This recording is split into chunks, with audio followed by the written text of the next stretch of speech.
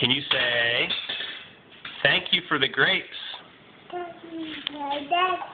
Say, thank you, Granddad, for the grapes.